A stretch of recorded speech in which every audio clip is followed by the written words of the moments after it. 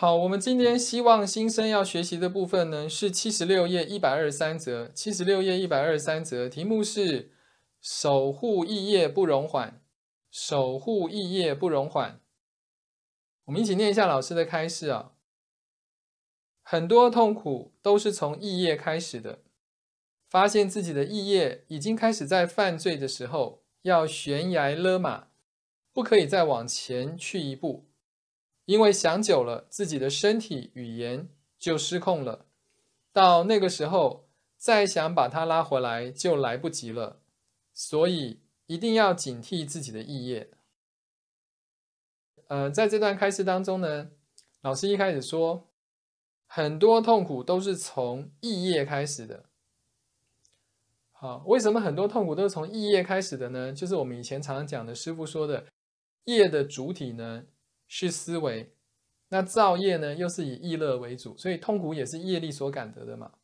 业力呢，是从思维、从意乐、从意业开展出来的哈。后面老师说，因为想久了，自己的身体语言就失控了。这什么意思呢？也是用业的角度来看啊。当你的业力成熟的时候呢，你的意熟等流增上，你的身口意。都会绕着你当初造业的时候，你内心的那个动机跟意乐的方向而转。再说一次啊，当业力成熟的时候呢，你的意手等流增上，你的身口意都会绕着你当初造业的那个意乐动机而转，因为那是你自己当初造业决定出来的方向哈。也就是广论上面讲的，他是现行犹如梦哈。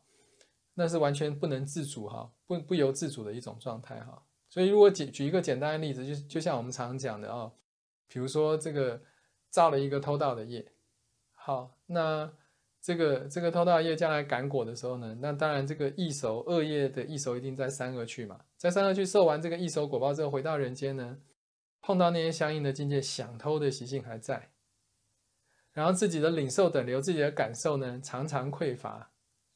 然后自己面对外在的境界呢，好，因为偷盗的关系呢，自己的钱财也常常会受到很多损失，好，然后很辛苦的做很多工作又赚不到钱，所以呢，你处在一种真善环境是很辛苦的努力赚不到钱，然后自己的感受上又常常觉得匮乏，然后自己的习性又有想偷的习性，那容不容易再犯？容易再犯，啊，再犯业就变得越来越重，所以呢，才会说。业力成熟的时候呢，你的意手等流增上，还有你的身口意呢，都会绕着你当初造作的那个意乐动机而转。好，这个叫他是现行，犹如梦。他是现行，犹如梦。所以呢，一个非常了不起的修行人，啊，像老师，像师傅，因为他们过去生，他们就是要修学大乘佛法，他们就是要建立圆满教法，利益众生，所以他们这一生呢。他们的这个真善环境啊，他们面对境界的感受啊，他们面对境界的习气呢，都还是继续要依止师长，学习圆满教法，然后再把教法分享给众生，就是往这个方向走。那我们大部分的凡夫过去生就是贪求世间嘛，所以我们这一生再来的时候呢，我们碰到的环境，我们面对环境的感受，还有我们心里的想法跟习性呢，自然而然就会让我们朝着那个追求世间的方向走。这个就是自己当初造业的意乐。动机决定的，所以呢，后面老师就讲到那个时候再想把它拉回来就来不及了，因为你的业力串习已经越来越深嘛。然后那个业如果没有经过对峙的话呢，那你当然要拉回来是不容易的哈。那我们现在有在学三十五佛忏，我们就知道说哦，要很认真的忏悔，具足势力去忏悔，那这个业啊就可以翻转啊。但是如果你不忏悔不对峙呢，啊，你让那个业力。一直这样子累积到最后积重难返，那就很难拉回来，没有错哈。所以老师说，所以一定要警惕自己的意业。好，那这一段也可以结合我们上一段讲的那个心之勇士的一百二十三则一起看。比如说，警惕自己的意业，警惕自己什么意业？比如说，警惕自己这个逐渐在养成的遇难则退的这种退堕的习气。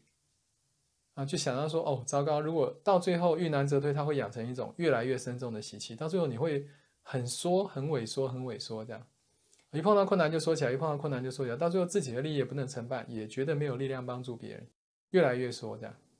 所以呢，一定要一开始就要警惕自己的意业。好，所以广论上面第十一页第七行开始的这一段哈，那老师常常把它念出来勉励大家，我也再背一遍给大家听啊。是故应当依善依护，以其一切正言，皆是一所取屈成佛之源所有道理，令其定解。诸现能修者，即当修习；诸现未能实尽职者，亦不应以自为能屈而为因相即便弃舍。应作事思，愿于何时于如是等，由曲遮门现修学也。遂以其因积疑之量，尽智罪障，广发正愿，以是不久，渐渐增长智慧能力，与彼一切悉能修学。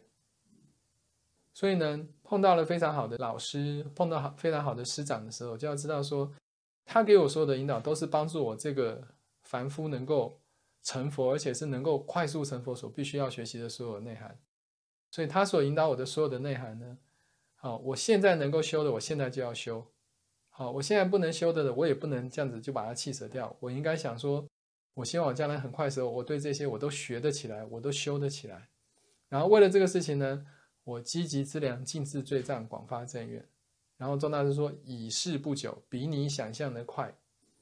好，就渐渐增长了自自己的智慧能力。对这一切呢，你原来不能修的，原来不能学的，你都学得起来，你都修得起来。好，这很重要。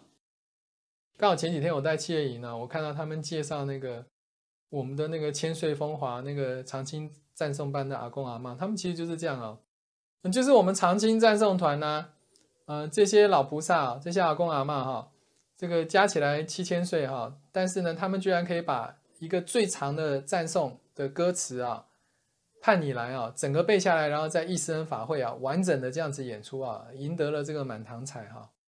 所以的的确确就是你一步一步的突破你的怯懦的习气啊，到最后很多你认为你不可能承办的事情呢，其实都可以做得到。在无限生命里边，尤其是如此啊。所以我们才讲说，注意警惕自己的意业，不要养成这种遇难则退、退堕的习性，这样守护自己的意业。